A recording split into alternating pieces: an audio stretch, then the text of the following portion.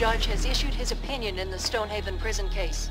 We don't have all the details, but apparently Oscar Manheim, the notorious life-term prisoner who has been welded in his cell for three years, has won his civil rights suit against officials at Stonehaven. Manheim is an animal. He doesn't care about You your wanna life, shoot my me? life. Shoot Well, me! his own life. Shoot the kid! He's a killer. Shoot the kid! Those are no punk to do your business boy, Hey, yeah? Chester, I owe you one. Hey, Manny, take me with you. Come on, Ranken, make your move! Only two other guys even got out once, and you beat that sucker three times. Yeah. Hey, sucker, you show me shit! This is Cassidy! Al fell off the engine! He's dead! You've got a runaway coming your way on track two! What did you say? Four units! Stop them for God's sakes! Oh my God, I spent almost every night of my life dreaming about this kind of shit. That's bullshit. I'll tell you what you're gonna do.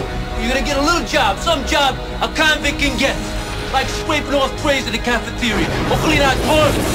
Could you do that kind of shit? The brakes on the runaway burnt off. I Wish I could. Are you nuts? I wish I could. Mr. Barstow, I have two very dangerous prisoners on the loose. If I don't get my convicts back, the prison will be out of control. I told you something was fucked up. You know what a riot in a maximum security prison looks like?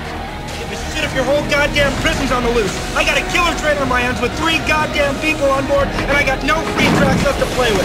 Boy, I guess you guys picked the wrong train. I ain't giving up. No matter what I have to do, no matter who has to die, I ain't giving that pleasure no fucking way.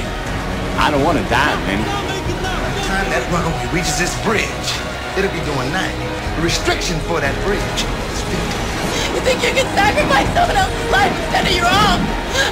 You're an animal. No! Worse! Human.